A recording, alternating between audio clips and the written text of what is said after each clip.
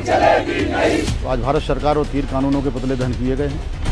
जो दोषी हैं उनका लड़का ट्रायल पर है उसी मुकदमे में उसी उन्हीं धाराओं में तो उनको बाहर होना चाहिए। हमारे इस आंदोलन को बदनाम करना चाहते हैं ऐसे षडयंत्रकारी ऐसे तत्व इस घटना के पीछे उनको मैं दोषी कर रहा हूँ। गाजीपुर बॉर्डर पर आज दशहरे का त्यौहार मनाया गया। वहीं सरकार की नीतियों और तीनों कृषि कानूनों को लेकर सरकार के खिलाफ जमकर विरोध प्रदर्शन किया गया। साथ ही गृह राज्य मंत्री अजय मिश्रा उर्फ़ डैनी का पुतला भी फूका गया। वहीं सिंगू बॉर्डर पर हुई युवक की नृशंस हत्या को सरकार की सोची समझी साजिश करार दिया। आज संयुक्त किसान मोर्चे के द्वारा एक कार्यक्रम था पुतला दहन का। तो आज भारत सरकार और तीर कानूनों के पुतले दहन किए गए हैं।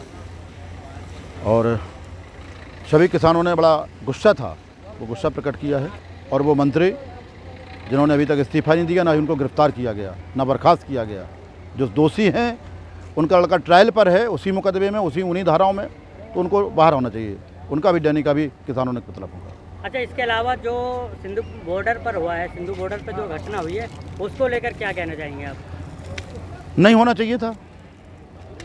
धर्म ग्रंथ का भी अपमान नहीं होना चाहिए था। धर्म का सम्मान होना चाहिए पूरे देश में। सर्वधर्म संभाव है। ये भी नहीं होना चाहिए था।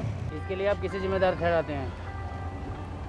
कहीं ना कहीं वो सिस्टम जिम्मेदार है जो। षडयंत्र के तहत एक योजना के तहत लोगों को प्लांट करके हमारे इस आंदोलन को डैमेज करना चाहते हैं हमारे इस आंदोलन को बदनाम करना चाहते हैं ऐसे षडयंत्रकारी ऐसे तत्व इस घटना के पीछे उनको मैं दोषी ठहराता हूँ। भारतीय किसान यूनियन के प्रदेश अध्यक्ष राजवीर यादव ने कहा कि यह जो भी हुआ वह गलत हुआ।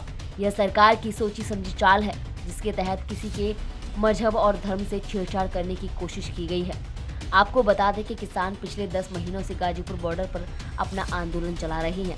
सरकार और किसानों के बीच कई दौर की बातचीत हो चुकी है, लेकिन अभी तक इस मसले का कोई हल नहीं निकल सका।